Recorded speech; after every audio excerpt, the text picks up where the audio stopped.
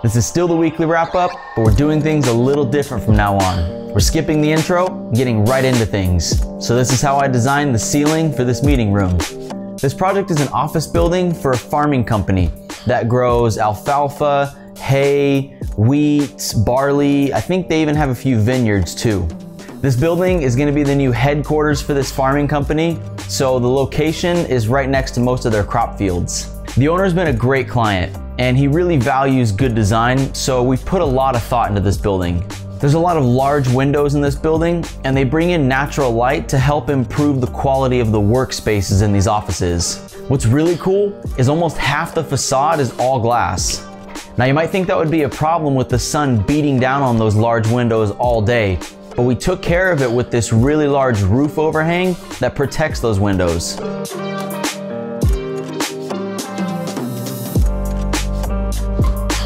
So in the meeting room, three out of the four walls are all glass at the north, east, and the south. These are nine feet tall, and they're gonna help bring in a lot of that natural daylight. Now the problem with most of the walls being glass in this space is that the acoustics are gonna be a problem. So we have to solve that somehow. There's not a lot of wall surface that's gonna help absorb sound, and with 40 to 50 people in this room at one time, it's gonna get pretty loud in there. So we have to find a way to solve this problem in the ceiling. We designed the ceiling in this space as a vaulted ceiling to mimic the roof slope above it, but also to give more volume to the space. Everyone likes high ceilings, right? Now normally this would create an even bigger problem for sound. Imagine being in a tall space like a church and how much echo you normally hear in there. Now that's also because you have materials like hardwood, stone, marble, things like that. Now we definitely don't want that in this meeting room, so we need to use a different kind of material that's gonna help absorb the sound. I researched this product from Armstrong called AcoustiBuilt. All right, now I'm not in any way sponsored by this company. It's just a brand that we use a lot to specify our ceilings. But if someone from Armstrong's watching this and you want to sponsor the channel, go ahead and slide in my DMs. So the cool thing about this product is it's gonna give us the look of a smooth drywall finish, but it's gonna have the sound absorbing properties of something like a regular acoustic tile. You've probably seen these acoustic tiles in other buildings that you've been in, and you probably didn't know that the purpose of these is actually to absorb sound. For the lighting, we're gonna use a suspended linear fixture. We'll suspend these from the vaulted ceiling above and we'll make sure they're all hung at the exact same height so that the light is evenly distributed throughout the whole space. Now the cool feature about these lights is they're what's called a direct indirect fixture. So it means that they throw light up above and down from below. So our nice high vaulted ceiling won't be in the shadows. The whole space will feel higher because we're shooting light up to the top of the ceiling.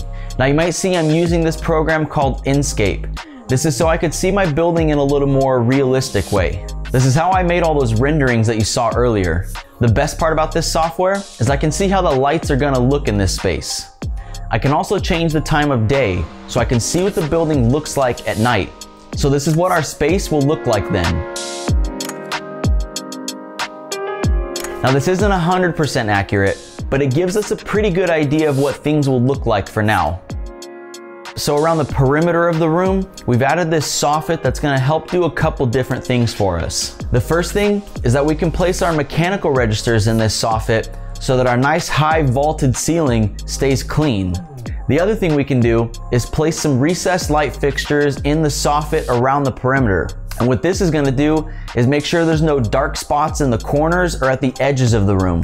There was also an idea to install a motorized projection screen in the soffit. This is something that'll retract and come down when the company here has staff meetings and they want to do presentations on this projector. The problem is we might have to install the projector itself in our vaulted ceiling and so it'll be hanging down from the ceiling. I, I don't think that's going to look right so we might have to rethink this idea. The last part of the ceiling design here is the soffit walls. These go all the way up to the vaulted ceiling above, and they give us some extra surface to put some acoustic wall panels on. These are gonna help absorb sound a little bit more, just in case the ceiling we picked earlier doesn't do enough. We also took the opportunity with this high wall space to put the company logo up on the wall. This will probably be made out of the same material as the acoustic wall panels. The great thing about this is it's gonna give a sense of belonging to the people working here that this is their own special meeting room.